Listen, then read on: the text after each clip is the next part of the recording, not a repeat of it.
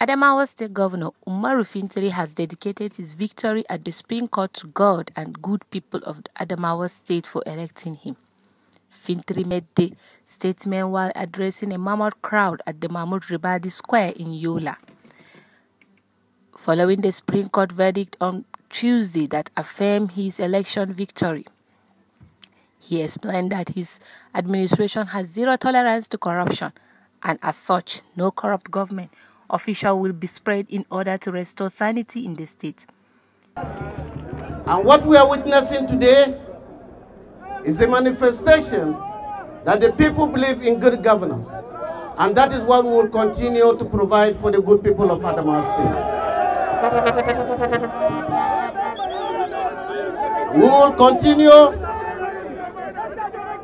to build structures of government that will ensure dividends of democracy to the poor.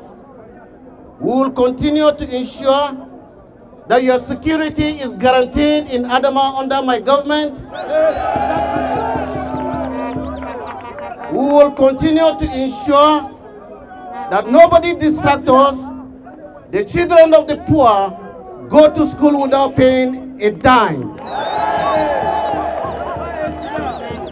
We will continue to ensure that we build good governance at the grassroots, particularly the local government, by giving them their autonomy.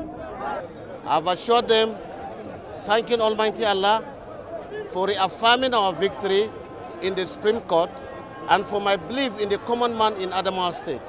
And I've assured them, no matter how big you are, if you have served a government yesterday and you have embezzled either at the state level or at the local government level, I will soon start to recover the resources of this state that has been embezzled by the last administration. He, however, called on the opposition to join hands with the PDP ruling administration to develop the state. Saleh Yakubu Marafa, News Now TV.